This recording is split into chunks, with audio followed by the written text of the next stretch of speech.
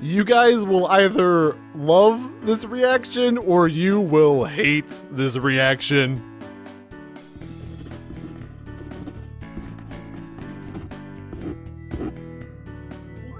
Hello, ladies and gentlemen, Blank Check here. I just finished recording the last eight summertime shorts for EQG and I wanted to put together a small video. As luck would have it, Eggroll recently released a small animation called It's Hard to Be a Princess. It looks like a Celestia video, maybe Celestia and Luna, but it is hard to be a princess, singular. Were this for Galorga's channel, it would likely be about Starlight and be raunchier. But Starlight would have no troubles being a princess, she was born to rule. So I guess we have to see the failings of the white one. On top of that, I still have not seen every Eggroll channel video, so I will throw in Must Be Better, which appears to be a Trixie animation. That sounds like fun. But before that, let's be witness to the troubles of the Sun Goddess. Alright, eggroll.tumblr.com. These are always so fun. Canterlot! The city of Sunbutt, who with her magical horn brings light upon the denizens and marks them off the list as they perish to old age, which she is not afflicted with. For she is immortal and she will outlive all of these ponies, children's, children's, children's, children's, children's, children's, children's children unless she's overthrown by some up and comer magic unicorn who may or may not be purple and name rhymes with bar fight. Celestia is such a card. Her guards despise her, but they get paid well. And they can't quit because you only quit by going out into the wilderness and fighting the beast until you perish. Celestia is not satisfied by the squishiness of her pillow. She wants a new pillow that has a cover of Countess Coloratura on it. Celestia is the best artist in all of the land, as her decree. Some pictures may be more realistic. Some ponies may have skills to make things, you know, look nice, but she makes them regal. Celestia is showing us her inner desires. That's kind of a Freudian slip for alicorns, is you just behead your sister. It's, it's just kind of, it's a really frequent occurrence. Commander Snowdrop here is sad that Celestia made his daughter blind as punishment for him not following her plans in the battles against the Timberwolves five years prior. The paparazzi follow Celestia all over the place, which is weird because there is a 100% fatality rate for being a paparazzi in Canterlot. You think they would learn. When Celestia's really bored, she duplicates herself. And gets whatever she wants from her subjects, her doppelgangers.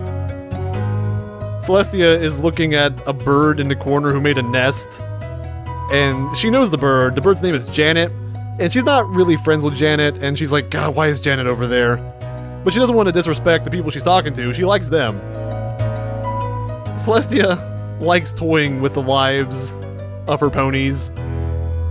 Sometimes she just shortens the day. They don't notice because they don't have clocks, but they kind of have internal clocks that get thrown off, and she likes just messing with people a little bit every day until they go insane.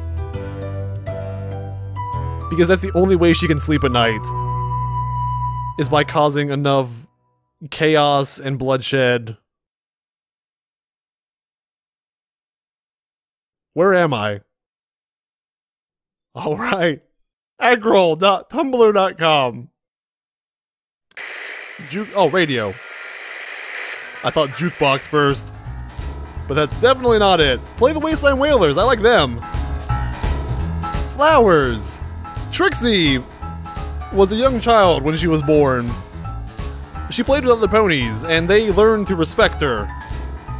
And that respect turned to fear, because she would eat their lunches. and drink their milkshakes. Birds, in particular, did not fear Trixie, for they could fly away from her magic, which has a limited range. It's very powerful, but only in short bursts. It's like a shotgun. Trixie never learned the read. It's kind of. okay. Trixie fought an addiction to cookies as a child. Um, she was very obese. It was not great. She had her stomach pumped frequently. I do like she, that she burns spiders, though. I, Trixie is now my favorite pony because she destroys those little hairy creatures. Fluttershy would not destroy them. She would take them in as friends and pets, and Fluttershy is worst pony. Unlike Trixie, who is cold-blooded. You never knew that. So it's hard to get through the winter, especially in southern Equestria. Northern Equestria is where they're at. Southern Equestria is pretty cool because it's at the equator and it's always hot. I know geography. Trixie's cape is eternal. She's only ever had one. But she's had a lot of socks. She goes through socks almost weekly. They just get so much use that she can't. No one makes socks strong enough. How do you satiate Trixie's need for socks? I don't know. I don't weave things.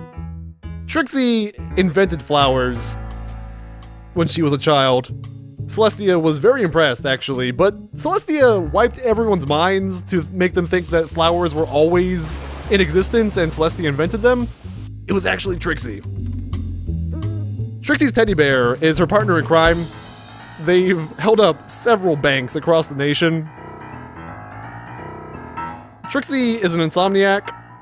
She worked on Ratchet and Clank and Resistance. She got in there after Spyro was finished, so she didn't work on those. Those aren't under her belt, but you know, they she made Song of the Deep. It wasn't received too well. Hopefully they'll pick it back up. The reboot for Ratchet and Clank was pretty good.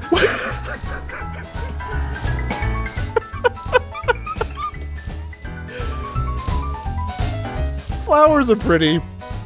Trixie likes flowers. She's gonna pick them and give them to Starlight in a bouquet. And they're gonna kiss. And my fanfic will be complete. And now all of Ponyville will know the beauty that Trixie can actually emanate from her body and her magic and her socks. I'm so sorry. Alright, ladies and gentlemen, those were It's Hard to Be a Princess and Must Be Better by Agrol Channel. Trixie learned to better herself with magic, and Celestia made it through a day of work. It's exhausting, there is a lot of smiling, she does not want to talk with the nobles, but it's worth it in the end.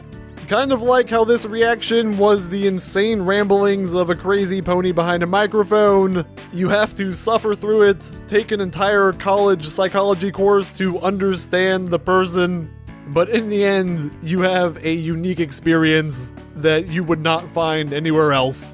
As is the definition of the word unique. Agrol makes very fun animations with very cute and show-like characters he is very reliable, very consistent, and deserves the following that he has. May he continue making animations for a very long time. I, on the other hand, make dumb things. But hopefully you learned something about Celestia and Trixie today. And I would hope there is a fanfic out there that ships the two of them. Thank you all for watching. Until next time, remember, if you can't handle being a princess, you simply must be better.